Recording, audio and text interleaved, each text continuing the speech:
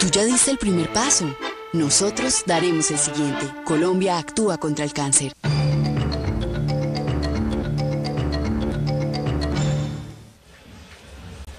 Magnelli Torres que se queda con la pelota. Escobar está persiguiendo.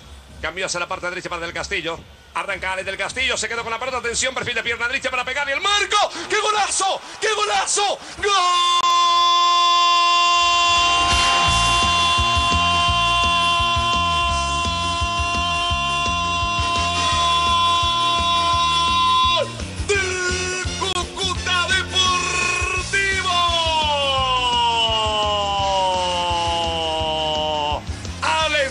Castillo lo había intentado en el primer minuto y ahora de una manera violenta, fuerte y con colocación vence Agustín Julio, dejando en silencio el estadio del Tolima. Ahora arriba y clasificado temporalmente el conjunto Motilón. Cúcuta lleva uno con golazo del Castillo. Deportes Tolima Ciro.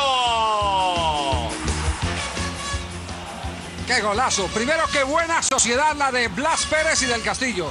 El gol se lo sabe de memoria porque de esa factura ya ha hecho varios en el torneo colombiano. Pero hay algo que es fundamental, profesor Juan José Peláez. Las libertades de manejo que le dan a un hombre que sabe qué hacer con la pelota como Magnelli Torres. Fue el lanzador desde la izquierda a la derecha. Es una gran virtud